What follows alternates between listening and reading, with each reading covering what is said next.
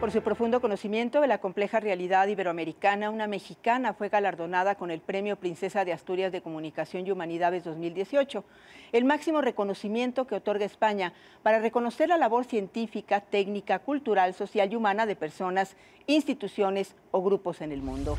La periodista Alma Estela Guillermo Prieto ha sido reconocida con un fallo del jurado por su escritura clara, rotunda y comprometida, con la que ha sabido tender puentes en todo el continente americano.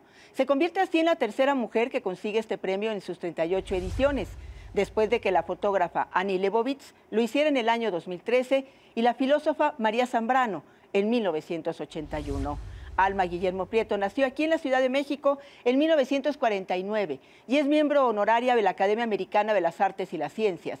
Inició su trayectoria como periodista cubriendo la insurrección nicaragüense de los años 70 para el diario inglés The Guardian y fue una de las dos reporteras que en 1982 reveló en el Washington Post la masacre de civiles en el Mozote sucedida en El Salvador.